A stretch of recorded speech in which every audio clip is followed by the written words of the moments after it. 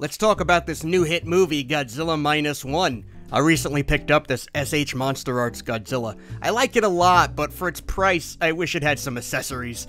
Let's see what kind of merch they're selling over in Japan. I log on to buyee.jp. You can see there are tabs here, and you can shop around several stores or auction sites. This is always a good one to check. Look at this little guy, what's his story? I can use Buyee's built-in translator to see that this is a Banpresto enshrined beast figure. These are on eBay for around 50 bucks and up, but with Buyee's built-in currency conversion, I see that in Japan they're closer to $30 US. Some soundtracks, some hoodies, but I'll never look as handsome as this guy. The Godzilla store is soft vinyl, but it's the metallic version. Check out these gold and silver anniversary coins. There's a lot of good stuff here, and it's usually less expensive than eBay. And if you're savvy and you, you check Buyee's awesome coupon section, you can save a lot of money with Buyee, even accounting for shipping.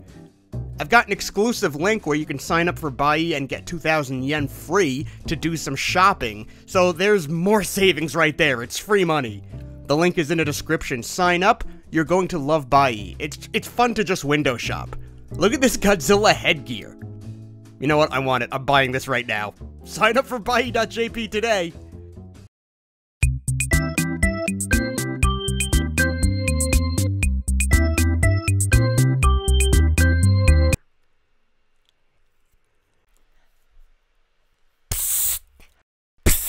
Over here! Orga's in the house! I just watched Godzilla Minus One, a 2023 Japanese Godzilla movie that's received near universal acclaim from critics and audiences alike.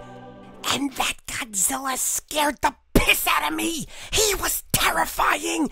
I've never been so afraid of a Godzilla! Oh, here he comes! Hmm, not over here. Where did I put my car keys? Urgh. Is he gone? Oh god, that was the scariest moment of my life! Everybody loves Godzilla Minus One, and everyone seems to emotionally gravitate toward different moments. Different things resonated for different people. The film has a strong message about the value of life, but it's also critical of the Japanese government for devaluing human life. But it also had a respectable look at PTSD. But it also deals with how the definition of family can go beyond blood. And it also, it covers a lot! There's a lot! But it covers all of this very well and naturally, and you may find the film surprisingly wholesome. From the opening shots and scenes, the cinematography and direction were immediately grabbing me. The sets were great. The acting across the board is spectacular. I loved every character. This was the most invested in the characters I've been since the original Godzilla film in 1954. That only took 70 years! And Godzilla, in this movie, gave me chills. I've never been afraid of Godzilla, not even Shin Godzilla, but this guy terrified me. The boat scene had me on the edge of the seat. The scene when he goes to the. Excuse me. Ah! Have you seen a set of car keys around here? Oh, my God, don't kill me! Oh, he's gonna do it! He's gonna do it! He's gonna kill me! I know I left them in this general area. Can you give me a holler if you see them? See what? My keys! I get so mad when I can't find them! Oh, oh no, he's doing the thing! Ah, jeez, it was cool on screen, but in person, it's horrifying! Ugh, sorry about that. I just get so mad, you know? I'm in a strange dimension. I can't find my keys. I don't own a car. You don't even own a car? Four and three quarters stars! Yeah, so about that last quarter. Ooh, you're about to go into something. Look, I loved the movie, and I can make this entire video about me gushing. It is objectively a good movie. Not a good Godzilla movie. Godzilla Minus One is a good movie. I just didn't like the last four minutes personally. During a city attack, a blast heads towards our protagonists, Koichi and Noriko. And she pushes him into an alley and she gets blasted away. Koichi never got to express his love for Noriko before her sacrifice, so now he's got a death wish. Between this and his other PTSDs, he just wants to die. But his friends remind him about Akiko, the adorable little girl that he and Noriko were taking care of. And in a small twist, Koichi decides to live. And he defeats Godzilla without taking his own life, and it's the perfect moment. Mwah! But it follows up with Noriko somehow being alive. It's this scene that felt so tacked on to me and just unnecessary for the story being told. Koichi deciding to live despite all he's been through is a satisfying enough character arc for me. I clung to the father daughter relationship in the movie. There's a part where little Akiko calls Koichi father, and he rejects that because he's afraid to love something and he also feels undeserving of love. Am I undeserving of love? I would have been happy enough if the film ended with her calling him father and him this time accepting it and telling her he loves her. It felt like that's what the film was setting up. For me, him choosing life and choosing Akiko was enough. A complete journey. But then the film says, let's do the mega happy ending, and reveals Noriko is alive. But wait!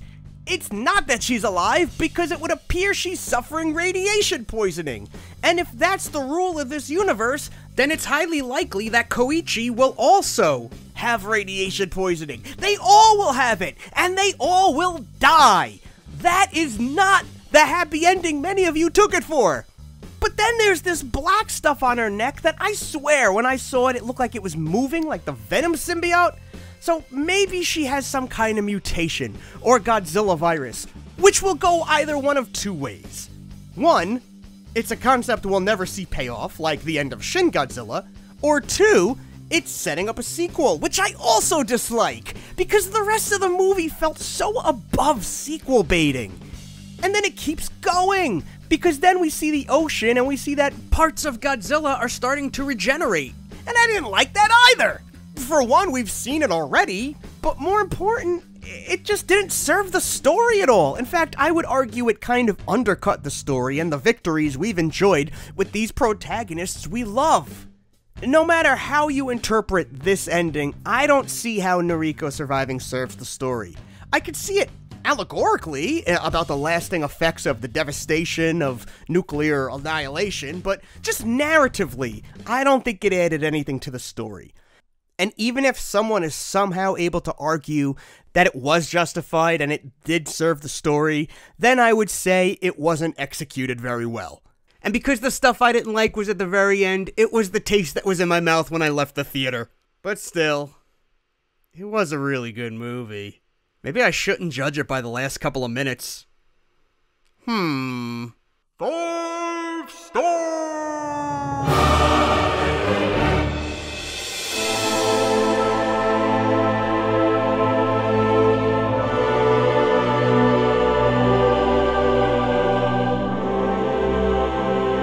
Tell me what you thought about the film and the ending in the comments below. Anyway, what an exciting time to be a Godzilla fan, am I right? You're a Godzilla fan, Orga? Dude, I'm fucking terrified of you.